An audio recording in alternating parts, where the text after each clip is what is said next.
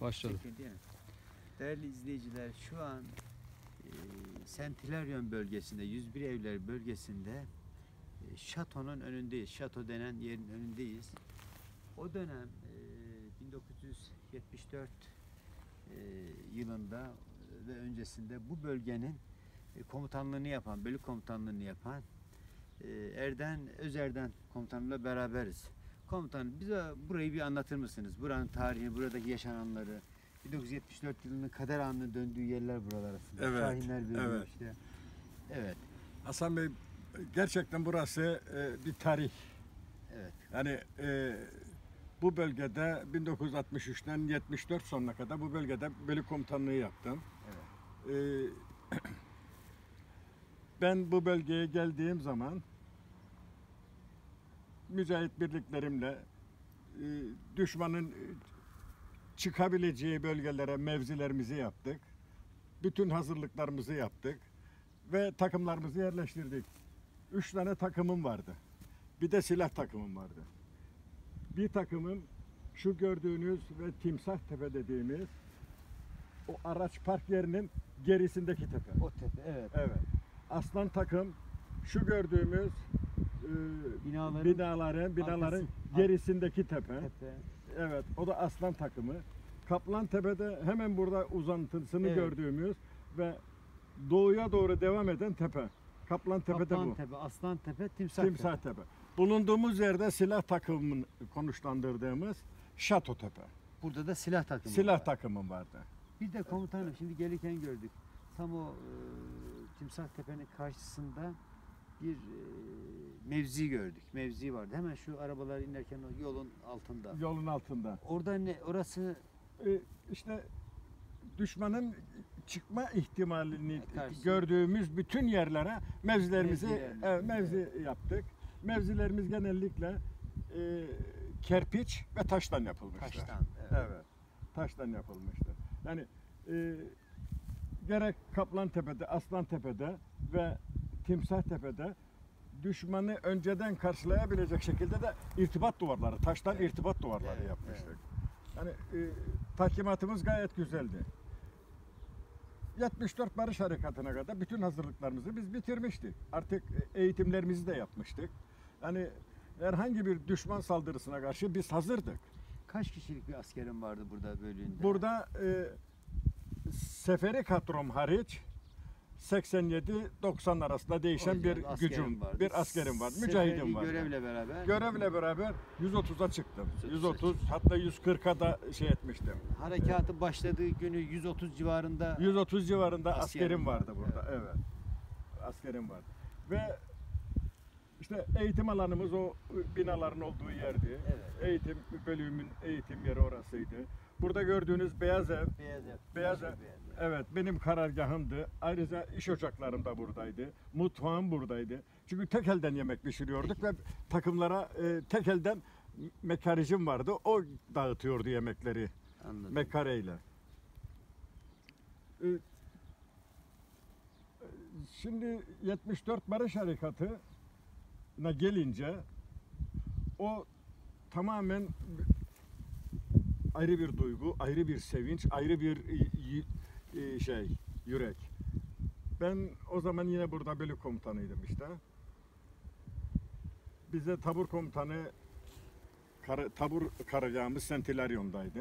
Oraya çağırdı. Rahm- Allah rahmet eylesin. Ee, Mehmet Me- Mehmet, Mehmet Miran. Biran. Miran. O da Topçu binbaşı. rahmetli Allah gani oldu. gani rahmet Evet. eylesin. 5-6 ay oldu galiba. Evet, evet, yani Evet, Allah rahmet Böbrek eylesin. yetmezliğiyle. Evet. Burası da bildiğim kadarıyla Türk komandoları e, bu bölgeye geldiğinde bu dağı aşarak e, bu bölgeyi indiler. Şimdi çıkartma yapıldığında Hasan Bey, e, çıkartma yapıldığında bir kısım komando birliklerimiz de e, helikopterlerle Kırnı, Kırnı Havaalanı'na indirildi ve atıldılar. Atıldı. Yani paraşütle at- atladılar. O birlikler dağa intikal ettiler ve şu gördüğümüz e, taburun atış alanı dediğimiz Hemen hemen hemen burada orada konuşlandı konuşlanmışlardı. E, bilahare görev yerlerine mesela Çetin Yarbayım neydi? E, Çetin Vural. Çetin Vural Yarbayım buradaydı. Efendim e, Zeki Doğdu Yarbayım. Zeki Doğdu ertesi gün geldi de. Ertesi gün geldi. İlk gece Evet. e, ikinci komando taburu buraya geldi. Buraya geldi. Şey sentiler gün o, e, o bölgede kaldı. işte Cemal Vural Örüş Paşa'nın birinci taburu. Evet. Sentileryon bölgesinde. Doğrudur. E, Ze- Zeki Zeki Zeki Paşa'nın da taburu e, ikinci gün bizim Beyazlar bölgesine Beyazlar'a gelmişti. geldi. Evet. o ilk gün, ilk gece siz bu çıkarma emirlerini almak için bu bina- buraya geldiniz. Hayır doğru buraya değil.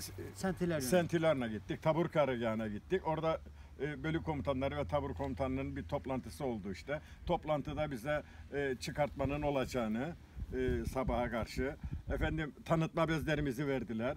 Birliğimizi uçaklarımıza karşı tanıtmak için rengini verdiler.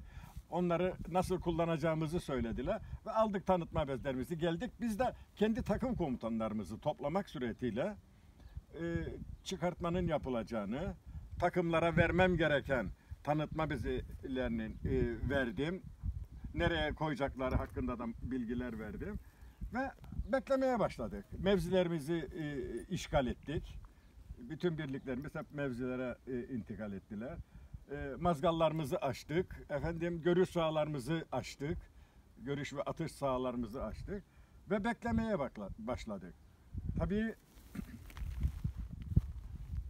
sabahleyin 20 Temmuz'un sabahı çıkartma birlikleri buradan çıkmaya başladığı zaman denizden Evet. ve e, komando birlikleri de inmeye başladığı zaman Balabayıs'ta bulunan Rum 33. komando 33. komando Taburu. taburu benim bölüğüme ve Doğru Yol bölüğüne taarruza geçti. Gece. Gece Gece. Gece saat e, 11 civarında 11 bir şeydi. civarında, evet, evet. 11 civarında bir şeydi.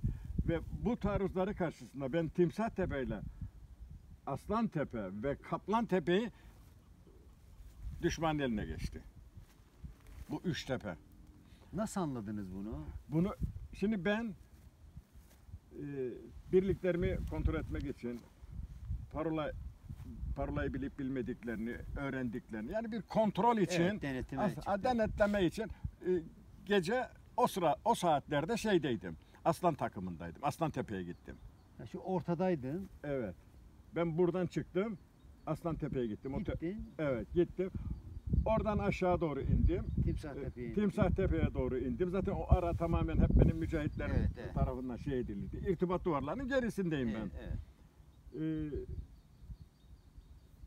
or, işte gerekli kontrolümü yaptım. Mücahitlerimle görüştüm. Onlara moral verecek ifadelerde bulundum.